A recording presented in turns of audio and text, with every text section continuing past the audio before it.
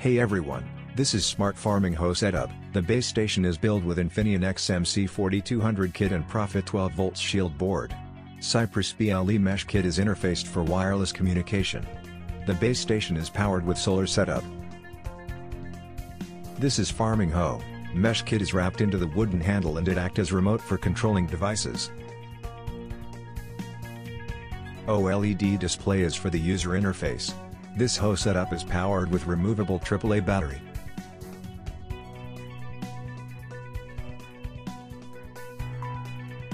Here is, a 12 volts DC submersible pump is kept inside the water container.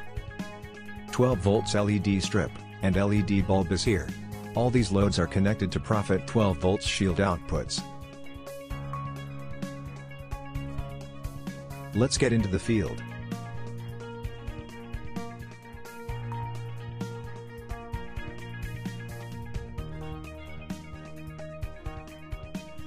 Now I'm gonna turn on the light. The light is turned on. Turning off now. Switching the mode with a button press and hold. Turning on the water pump.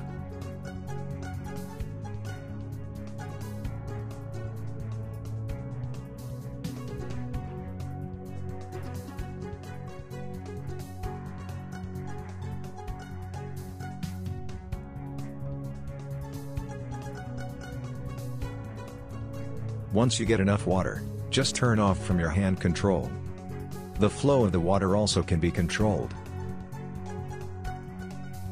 Next one is turning on the timer for auto mode. In this mode we can automate the lights or pump with real-time clock. By the way this is just a prototype design.